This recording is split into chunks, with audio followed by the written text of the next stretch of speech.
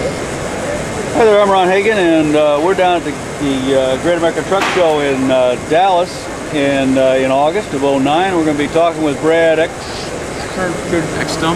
Extrum of Fast Fuel Systems. Uh, he's got a product that uh, I have personally found works very well with my customers. From the jostling in the tanks and the recirculation, we get a fair amount of air in the system. That's correct. Um, if from condensation, we get a little bit of water, and from crap fuel, we get other stuff. So the regular fuel filters, I assume, will take care of the other stuff. Um, although the fast system is a pair of filters. One is a wa- fuel water separator, and another one is a air separator. And then it also acts, as I understand, a uh, oh a 10 to 12 pound lift pump uh, to provide greater lubricity. Would you tell us what are we looking at right here? Is that's the fast system? Well, what we're looking at is a fuel air separation system, the FAST, and we're looking at the suction line that would be coming from the fuel tank. Then we're looking at what's coming over here. This would be the feed line going to the engine, and this would be the additional return line going back to the fuel tank. And this is actually where we're separating the air out and sending it back to the tank to where we can keep pure fuel going to the engine, as they do in a test cell. If you go to CAT, Cummins, Detroit, they basically have what we're doing. They have perfect fuel going to their engines, and that's what we're that's what we're, we're duplicating in a working environment.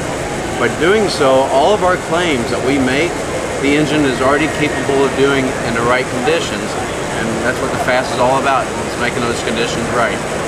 This is a standard on most everybody's truck fuel filter. Yes, sir. Yes.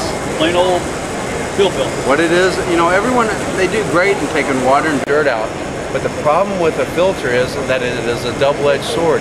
The more dirt that you get out, the more air that you add. Restriction creates vapor, and that's one thing that's not that's not apparent in the test cell conditions. Okay, now even the camera can see the bubbles, Okay, and those bubbles that are going into your fuel system right now, are going into the engine. exactly. Most people don't think of air as being a contaminant, but there's many schools and many articles written on air being one of the worst contaminants. It is the number one uh, contaminant in the hydraulic system. The more restriction that you create on fuel, the more vapor you add.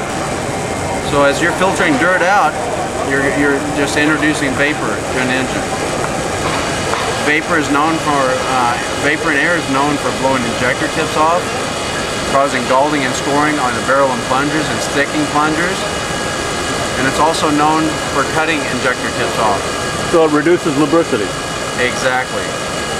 Uh, now, some of my customers have been telling me that they have found that in a real cold operations, the 10, 12 pound uh, pressurizing of the uh, uh, fuel to the to the injection pump helps them get their engine started uh, in very very cold weather. My guys are working down to 40 below zero, and I've had very good reports from that. Have have you had any reports like that? Oh, we've been having reports like that over the years. We've had some nice reports from Chicago of our um, of a whole fleet being shut down, and uh, not a whole fleet, but a bunch of trucks being shut down, except for one, and that happened to have a fast system on it. Wow. And Yeah. that just basically something comes from two things. One, we have a very strong, durable lift pump, fuel pump on here. That as soon as you turn your key on, it starts pumping. And then two, we have pure fuel waiting to go into the engine. When you shut an engine off that has fuel in the line, air rises to the highest points. And that's the first thing that you have to suck through when you have that engine turned off. Okay.